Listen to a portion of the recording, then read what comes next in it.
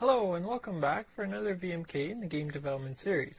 In this VMK I'll show you how to create the GUI slider class which will be used to create a slider bar on the GUI interface.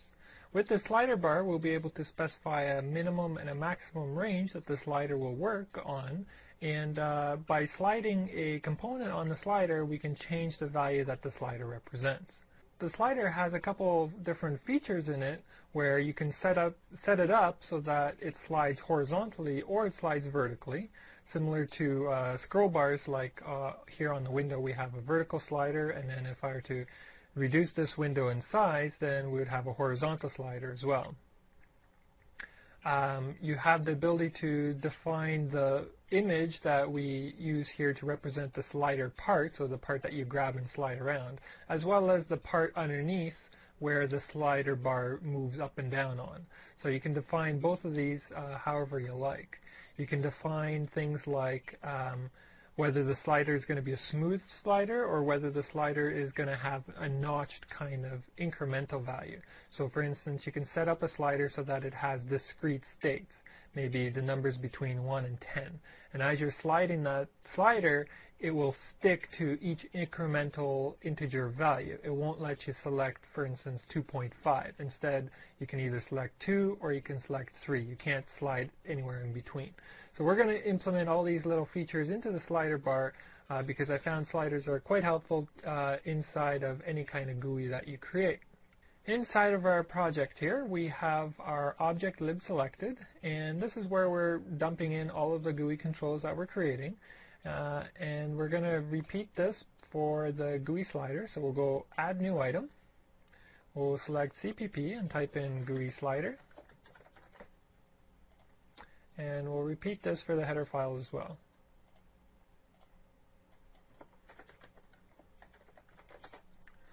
Okay, so starting off with the header file, at the top we have core and GUI control.h uh, included. And because our slider is going to inherit from GUI control, um, we know that we're going to need the GUI control, and we're going to be bringing in all the variables that we've defined inside GUI control, which I'll open up here.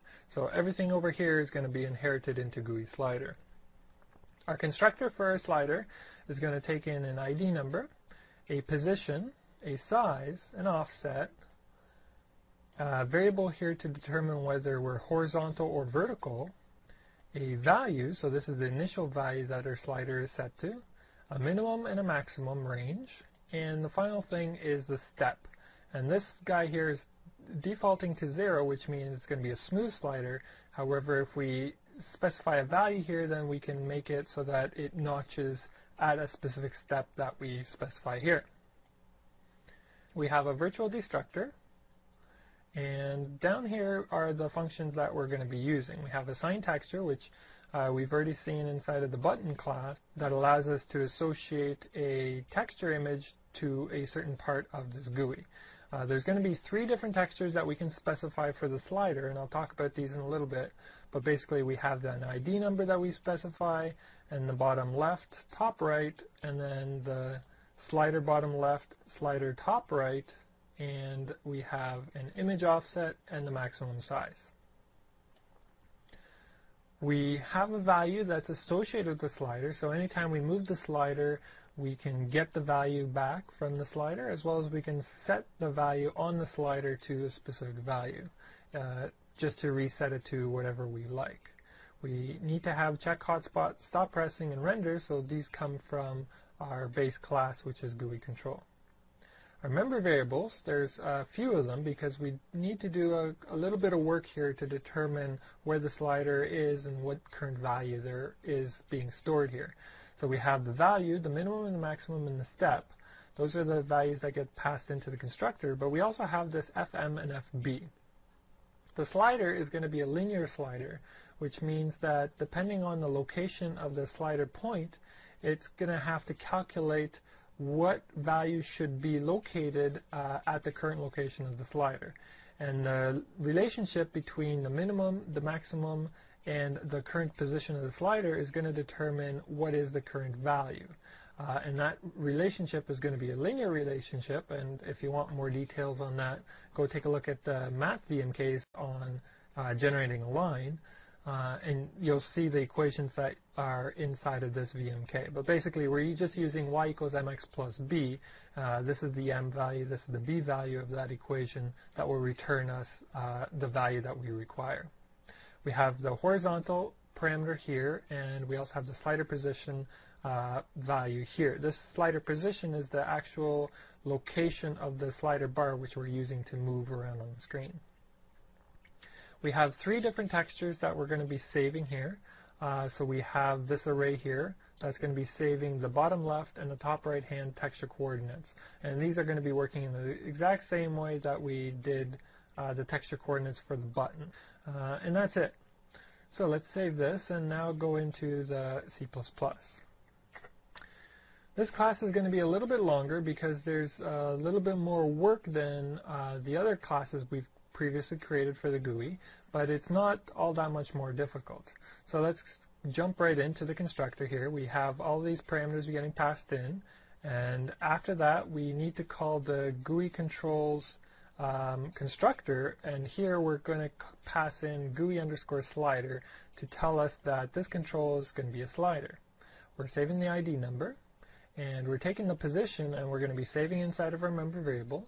And once again, we're going to be checking the parameters that are getting passed in here for the size to make sure that um, the values are valid. If, if we have a negative size for x or y, then we're, we're going to just set them up to be 0 because negative size doesn't make any sense. Otherwise, we're going to be taking the value that's getting passed in here and just saving it inside of the hotspot size. Um, the position of our slider with respect to the slider bar, so this is the slider button which you can actually go and press and use the mouse cursor on to slide the, the location of the slider. This guy is going to be located uh, using the off, hotspot offset, so we're going to take the offset value that gets passed into here and just save it into hotspot offset.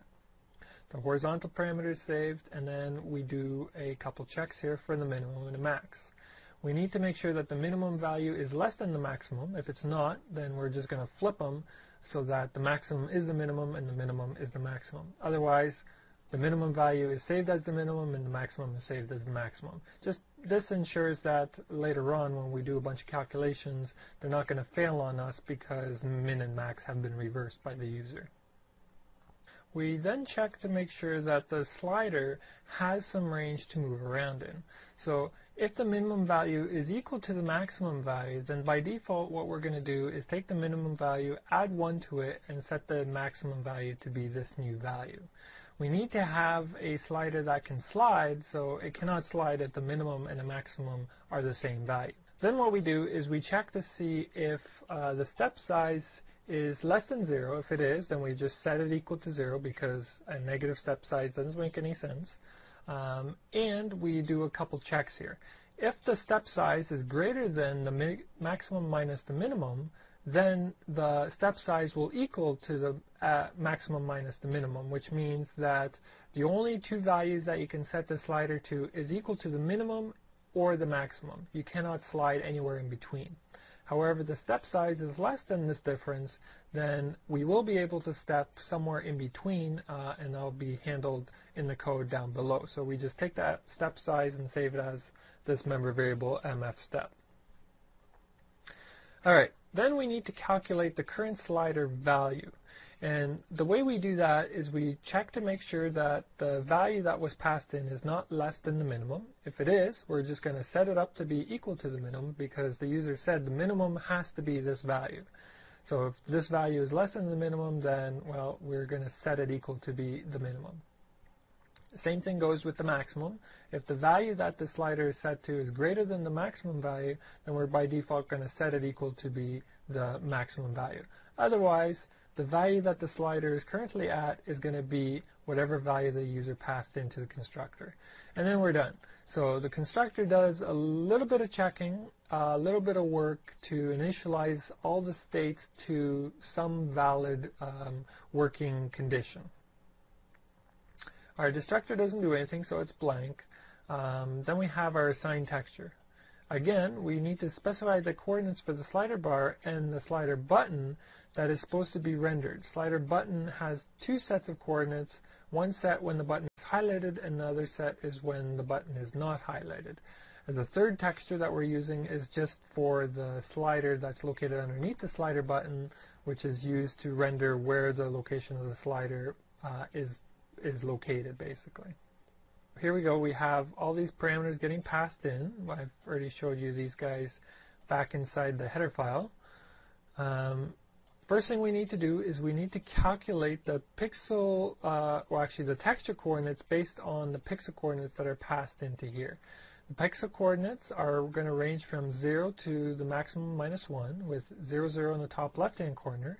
And the texture coordinates need to range from 0 to 1 with 0, 0 in the bottom left-hand corner. So again, we're going to need to do this conversion where we flip uh, all of our coordinates uh, in the vertical direction so that the 0, 0 is located in the correct position. We're first correct the conversion factor by subtracting 1 from the max.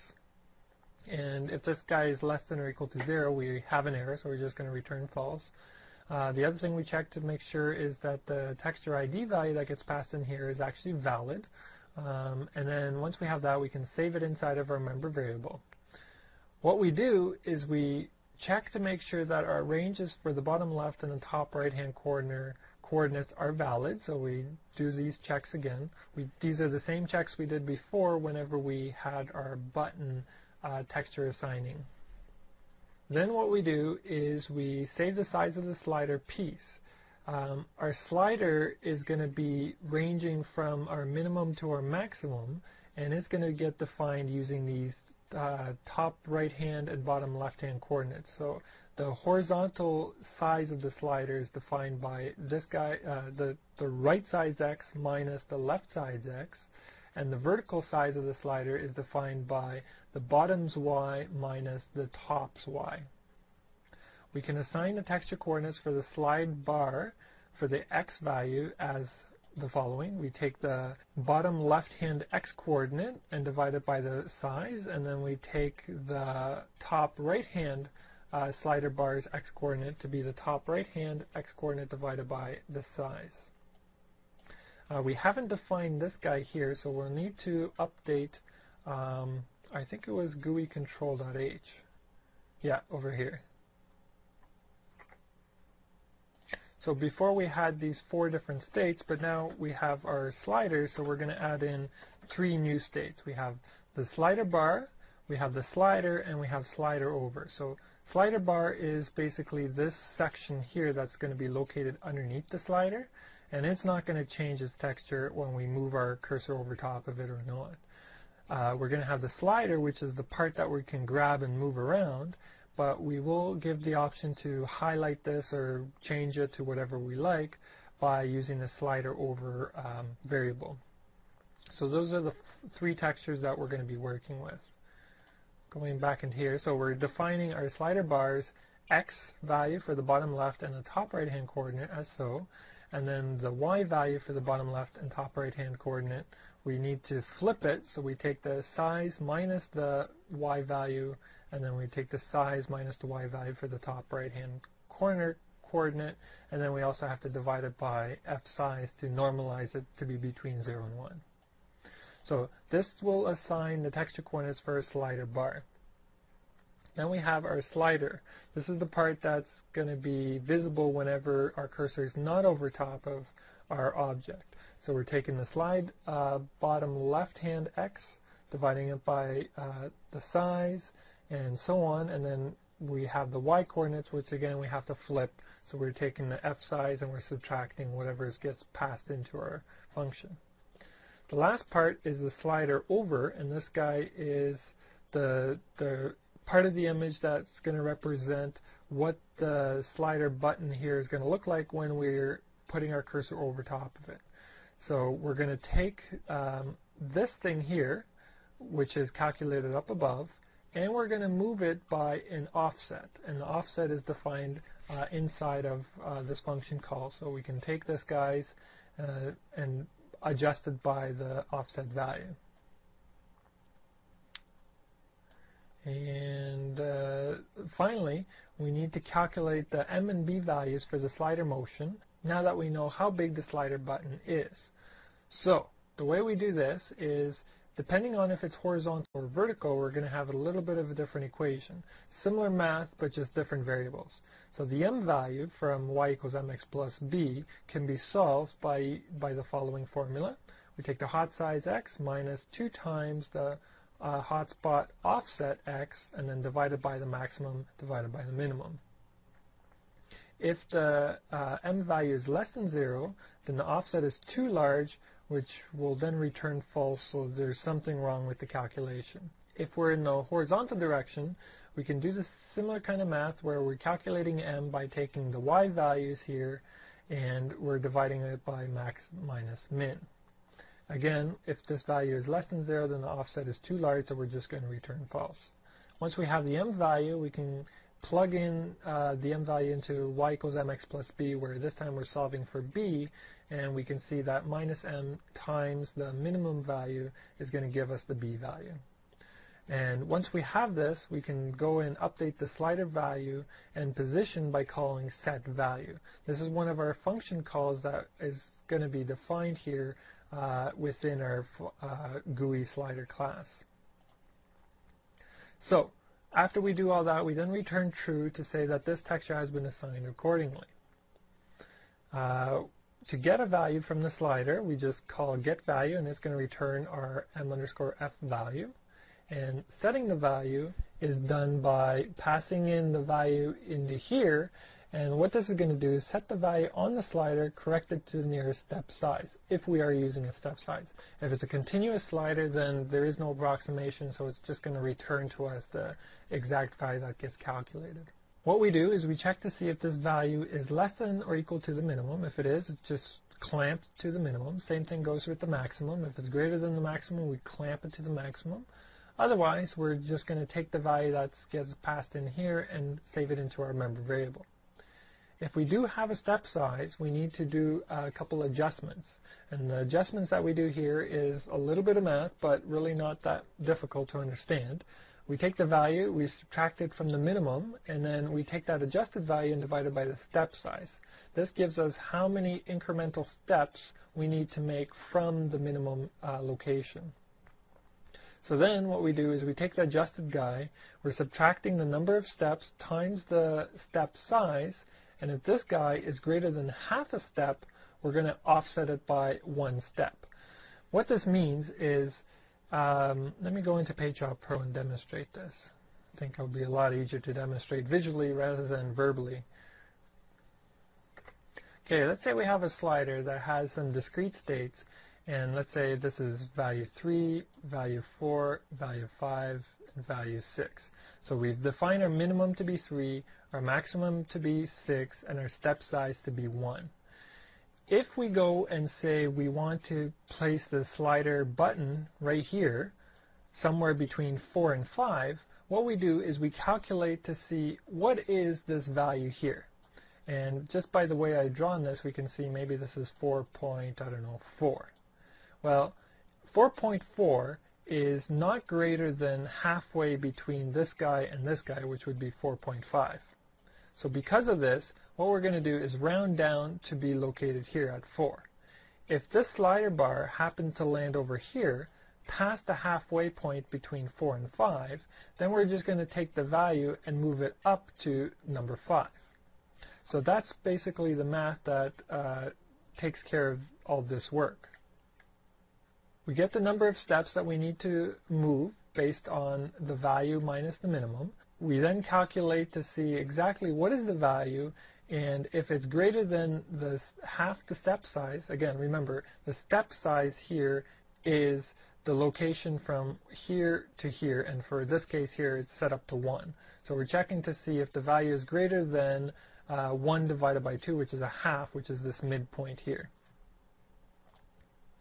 So if this value here is greater than that offset, then we're going to increment the number of steps so that we're landing in on the next guy. Once we know exactly how many steps there are going to be, we can then take the minimum plus the number of steps, and this will give us the value of the slider in our certain scenario. If we are not using uh, step size, then what we can do is just apply our y equals mx plus b equation to get the slider position. And uh, after we do that, then our slider will uh, be located in the appropriate location visually, uh, and the value will be already calculated for us, so we don't need to do any other work. Check hotspot takes in our mouse position and our press variable here, and what we do is we check to see if the mouse is actually over top of our hotspot. If it is, we set our over value to be true and our return value to be whatever our ID number is. Otherwise, our over is set to false. If our over is true and we're pressing, then we're going to toggle the button state. And this thing here is very important um, because the way that the slider is programmed right now is you can press on the slider button to move it back and forth.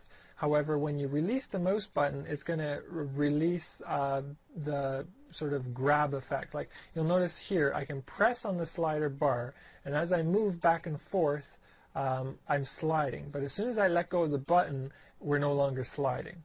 If you don't want that behavior, if you want like click to activate the slider and then as you're moving, you're moving it, and then you need to click on it again to deactivate it, you can do that. Um, and that's what I've shown here is I've commented this code out, but basically button does not stay pressed when the cursor is not over top of the control. Oh, sorry. This is a different functionality.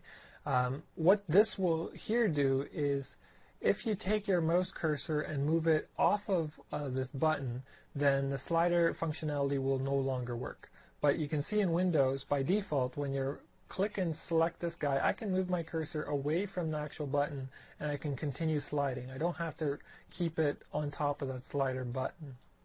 So uh, in our code, if you want um, this behavior here, then just uncomment this and it'll make our press value go to false as soon as we move our cursor off of the hotspot. It really depends on your preferences on how you want the slider functionality to work, but that's that's why this code here is, is commented out. Alright, finally, we need to update the value if the um, control is pressed. So, if it's pressed, we take the mouse, and we're going to check to see if we're horizontal or vertical because we our calculation is going to be different dependingly. And what we're doing is we're taking the horizontal value because we're horizontal here on the slider.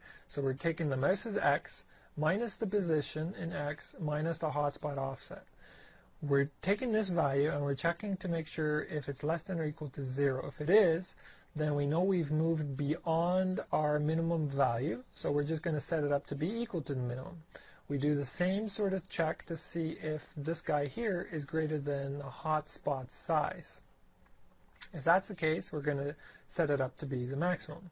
Otherwise, we can calculate precisely um, the value here by taking the mouse position minus a b divided by m. So this is uh, y equals mx plus b being solved for the value that we need.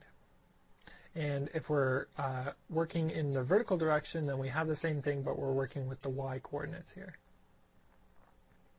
Uh, and after doing all these calculations here, uh, we'll then go and set the value of our slider by calling set value, and then we return the ID. So anytime we're over top of the hotspot and we're moving anything around, all of this calculation is going to determine what is the current value of our slider and whereabouts to position everything so that when we do render it, everything will be the correct value with the correct states set up for us.